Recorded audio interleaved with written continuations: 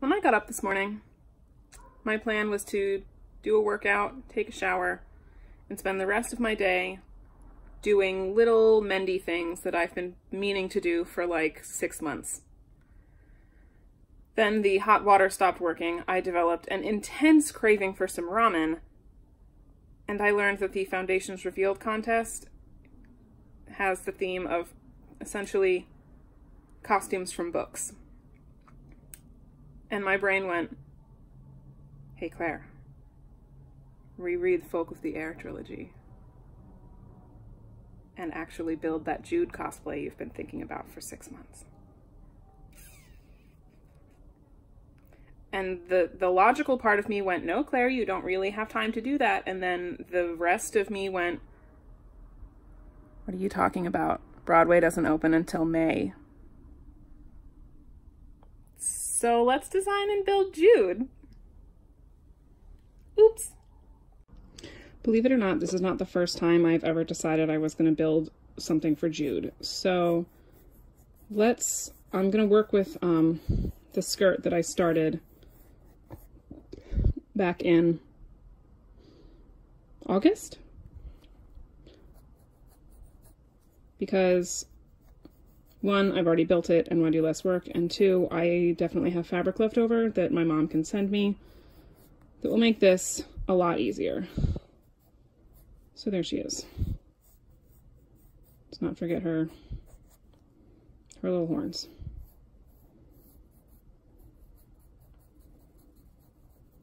I'm going to give her some bangs because that's the wig that I have.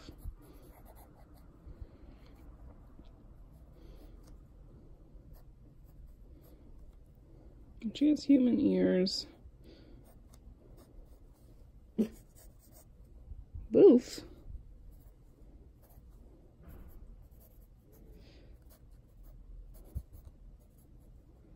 So the skirt I have, high-waisted skirt, that kind of has a lot of layers to it. It's very floaty.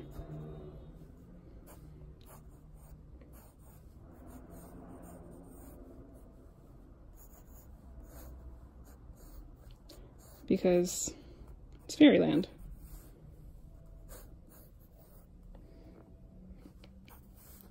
But for the neck, the top, the bodice, there's a lot of mention of Jude wearing doublets and uh, in some of the raunchier scenes, she mentions her legs getting tangled in her hose, which makes me think that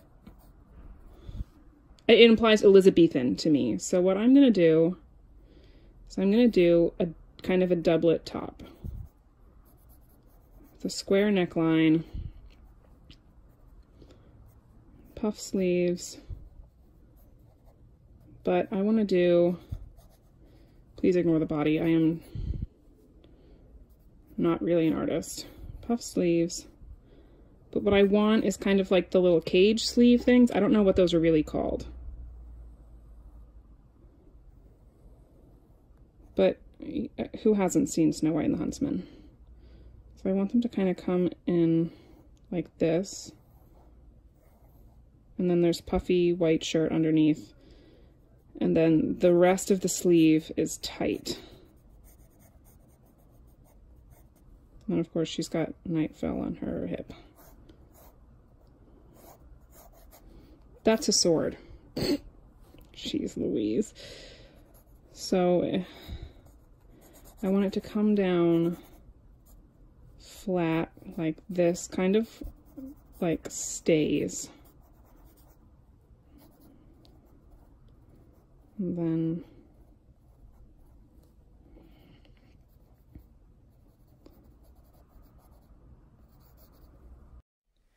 I ended up designing several other options for the bodice and went with none of them, but uh, in rereading the series, realized I needed to accommodate gloves, uh, so I couldn't have full length sleeves. Um, I'm really happy with the end result, but it is not what I originally designed.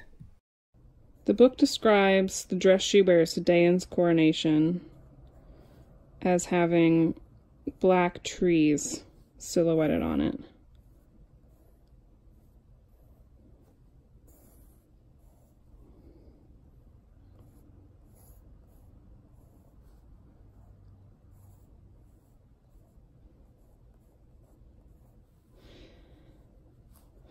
So the skirt is organza that I dyed blue from white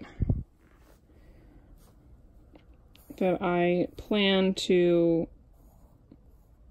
draw tree outlines on. I bought fabric markers for this back in August, but uh, if any of you have watched Rachel Maxey's and uh, Sostein's video on how fabric markers actually work on fabric, uh, I might actually end up using Sharpie or just some acrylic paint. Also, the, the book describes the dress as going from indigo to sky blue. So I want the top to be like velvet or brocade.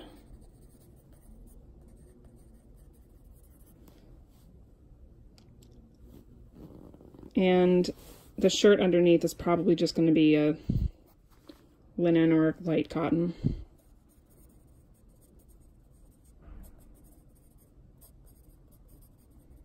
And then this is kind of going to be like a pair of bodies or stays. That doesn't need to be there. Yeah? Probably with embroidery. And I ordered some like, it's jewelry that you wear on your human ears and it comes down like this and it makes your ears pointed and it's like filigree. I'm still waiting for them to come in, but I'll probably add those because Jude wants to look like a fairy. She spends a lot of time talking about how much she wishes that she was she was fae and not human.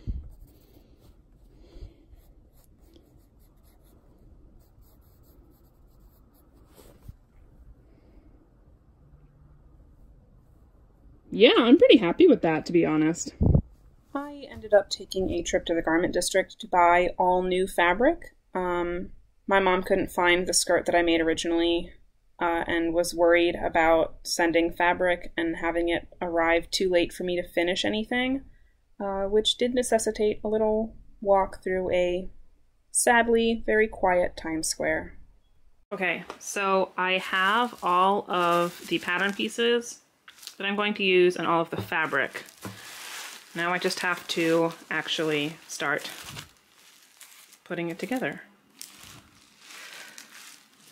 So let's get started with cutting some of this stuff out. We're gonna start with the skirt because that's easiest. And the sleeves are gonna go last because they are very fray and probably will be difficult. All right, let's get started cutting out the, the bottom skirt. Let's go.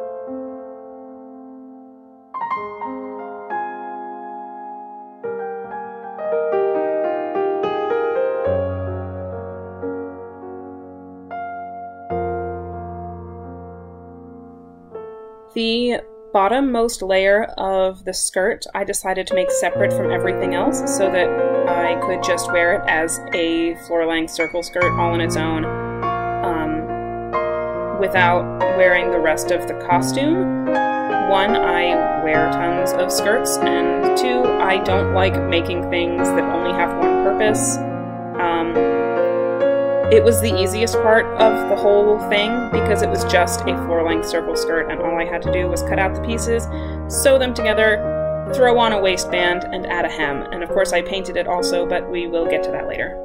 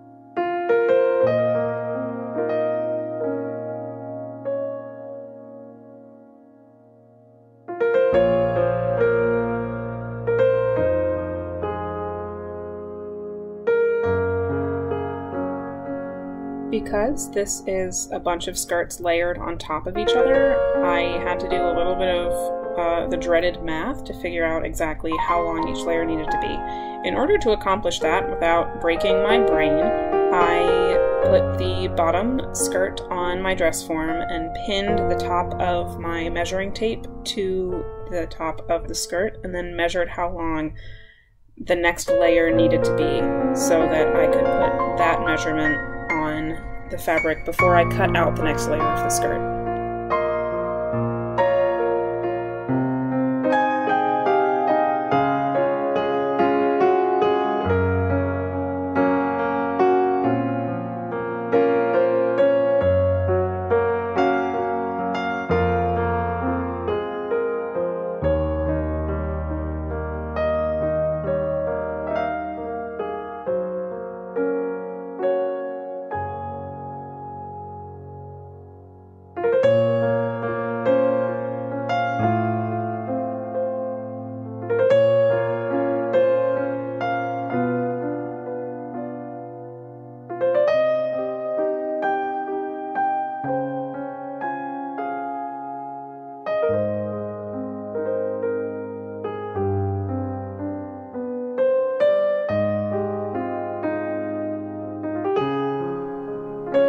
As you can see, there then followed a bunch of smooshing together of pattern pieces to get the kind of thing that I wanted. I took the like leafy skirt parts from a Simplicity fairy costume that I bought years and years ago and stuck them to the skirt piece of that same pattern that didn't have a leafy fairy like hem, and then just kind of pinned things and tried to visualize how it was going to work. I should have made a mock up, but I was very concerned with time. Um, it was a lot of kind of flying by the seat of my pants, um, testing things out, it worked out fine. It just, you know, took a while and my brain went, ah, a lot.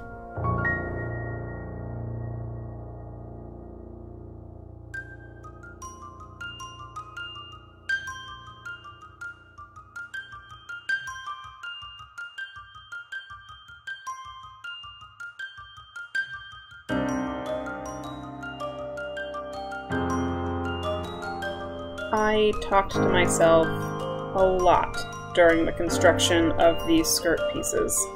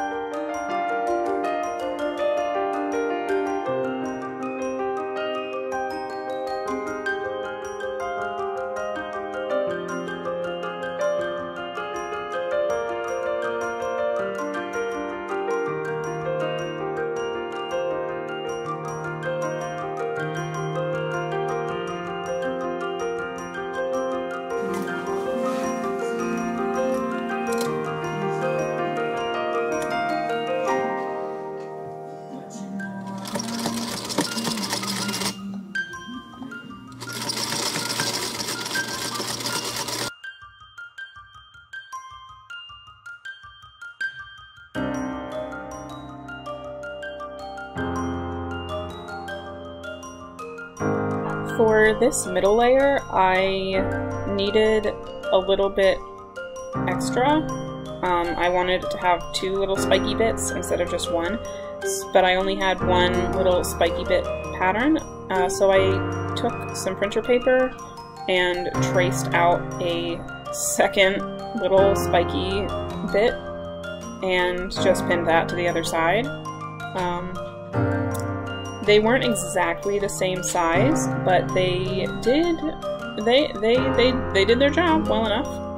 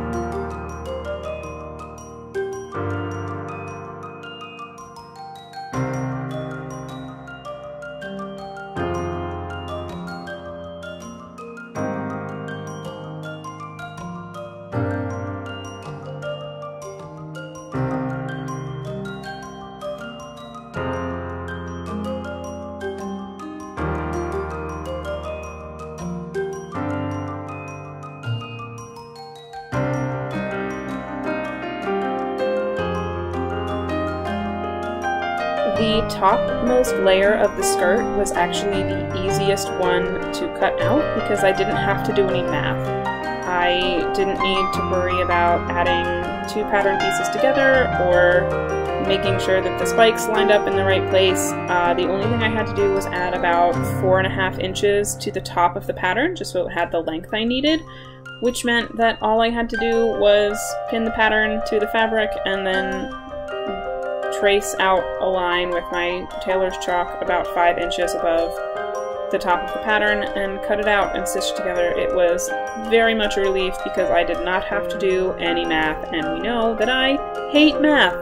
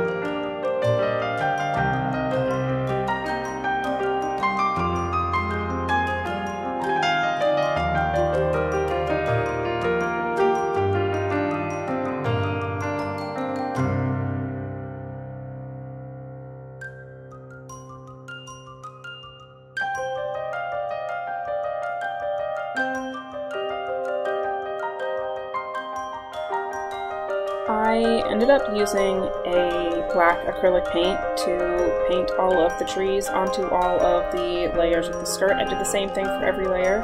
Um, and by the end, I think I was pretty good at painting trees.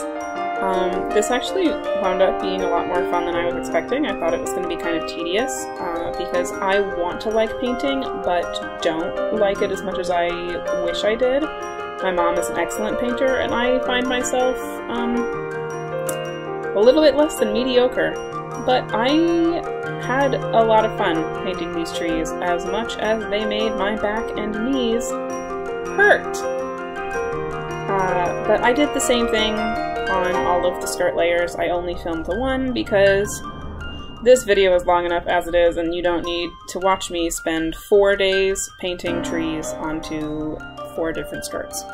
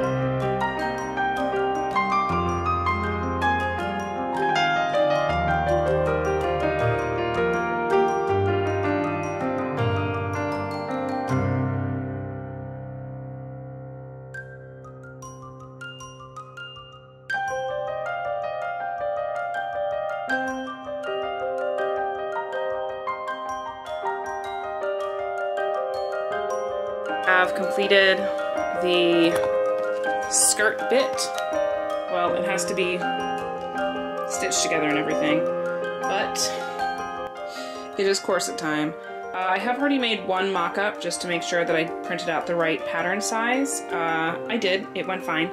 So I am going to make a second mock-up out of these sheets that my friend gave me.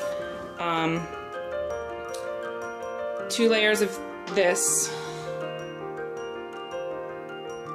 bone that, use that as another mock-up, and then I will cut it out of the real fabric if I am happy with that. And then go from there.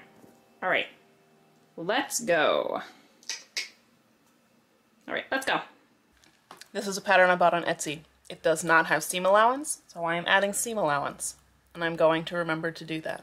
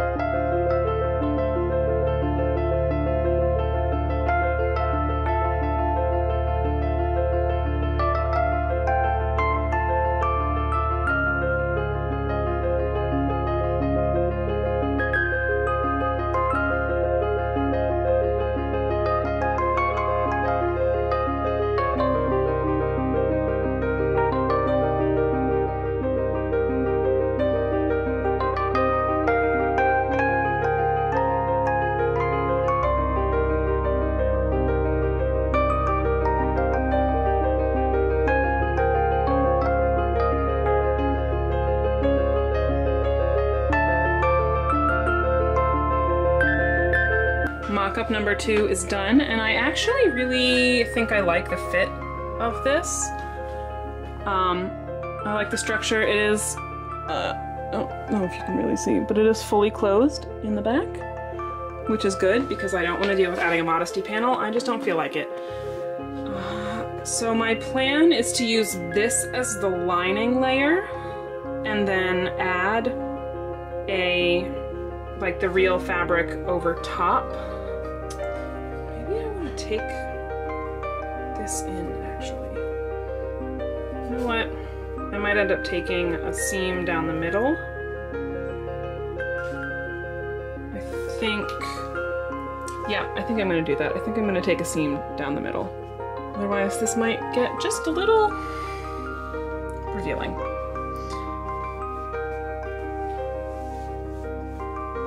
Yeah, I'm gonna take a seam down the middle and it good.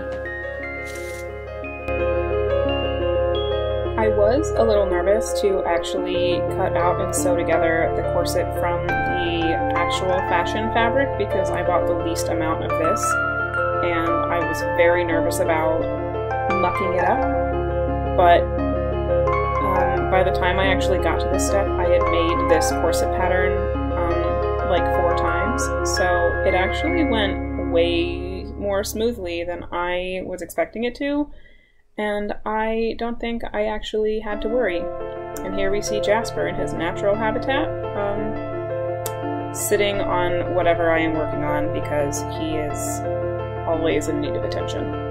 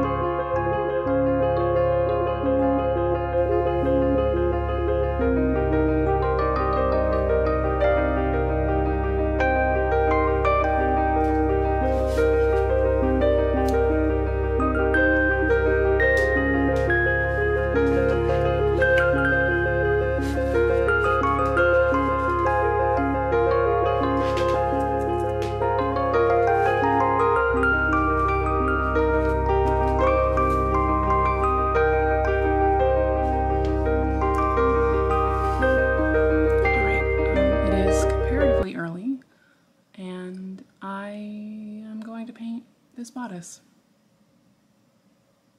You can see my lovely grow light in the background um, that is altering the color of all of the things in my house. And uh, it's time to paint some trees on Jude's bodice. So let's go.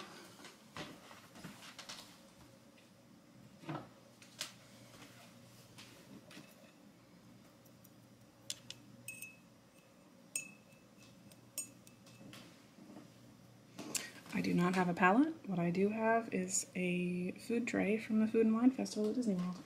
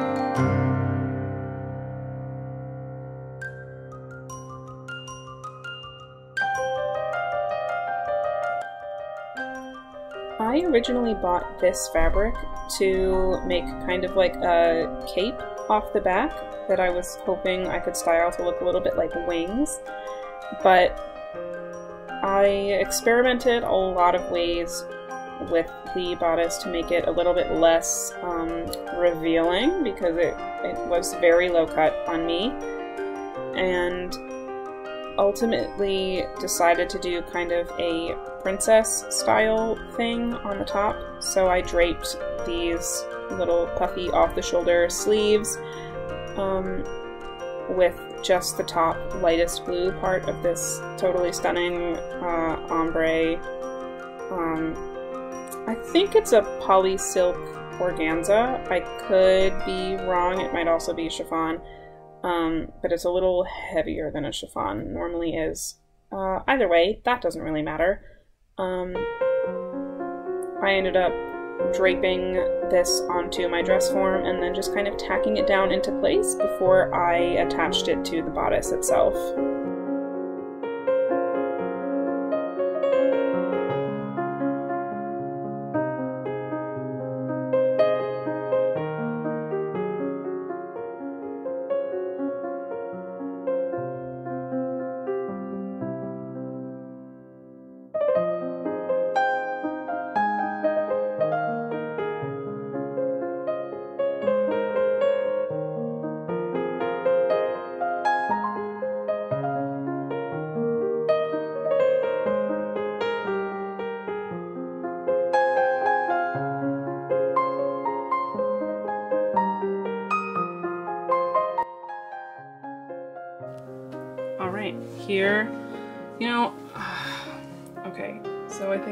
To let the sleeves out a little bit. They're just a little bit tight to the shoulders, but man, I was gonna add like straps. I like this a lot more. So if I pin that there, and then let these, this one is fine. This one is a little tight, so this one has to go out a little bit. Ooh. Yeah. This is good. This is coming out way better than I thought it was going to. We went, we went through a little rocky patch a few days ago. But I think this is looking real good.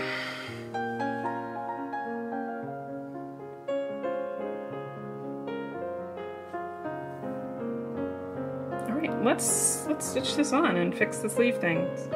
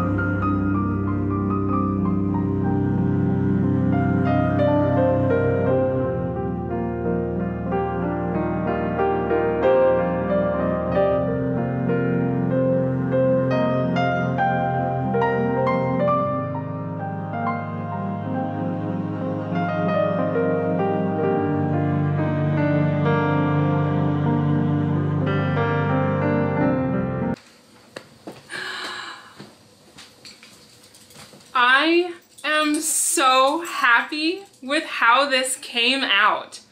Um, I'm, obs I'm obsessed with the wig. It's a little wonky, but I, I don't want to take this off. Like, maybe quarantine's just really getting to me, but I, I just really like it. And I'm really proud of myself because I spend a lot of my time watching and reading things and saying, I'm gonna cosplay that, and never actually getting around to making the thing, but I did this. I finished it in like a timely fashion. Well, it took me like a month and a half, but like uh, the design is different from my how I pictured it, but I've been thinking about making this specific dress since like July and I am just I'm really happy with it. I'm so proud of it. I have no idea what I'm gonna do with it now that I have it, but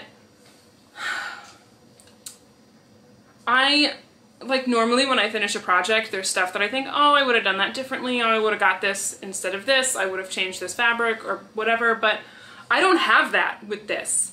I just want to wear it all the time and like be Jude because she's great and I love her and man, I'm just really happy. Thank you guys so much for coming along this fun little journey with me. Uh, and I really hope to do a little bit more cosplay kind of stuff because this was crazy fun. And getting dressed up and putting up a little backdrop in my living room and making my husband play photographer was super fun. So maybe I actually will get that Byleth cosplay done. Alright, I will see you guys next time. Bye friends.